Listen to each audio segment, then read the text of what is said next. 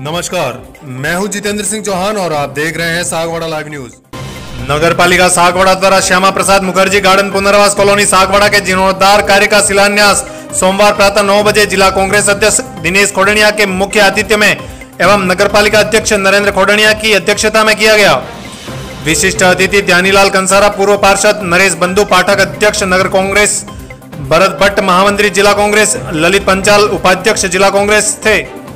पालिका अध्यक्ष नरेंद्र खोडैनिया ने बताया कि एक करोड़ रुपए की लागत से डॉक्टर श्यामा प्रसाद मुखर्जी गार्डन को आधुनिक रूप से बनाया जा रहा है, जिसमें पुनर्वास कॉलोनी के नागरिकों एवं आमजन को इसका लाभ मिल सकेगा। डॉक्टर श्यामा प्रसाद मुखर्जी गार्डन में मैक्सिकन घास बच्चों के मनोरंजन हेतु उपकरण, विभिन्न व्यायाम के उपकरण, फाउंटेन, सेल्फी पॉइंट एवं अन्य सुविधा मिलेगी।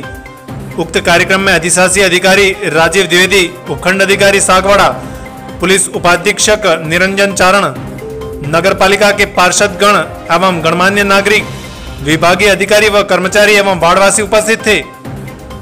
देखिए पूरी रिपोर्ट।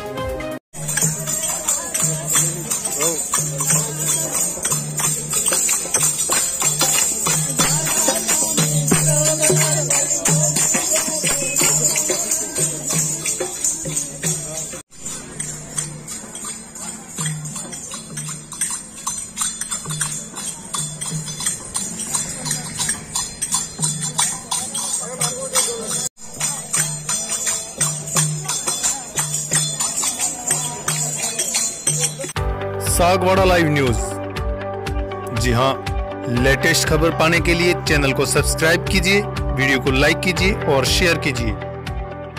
धन्यवाद।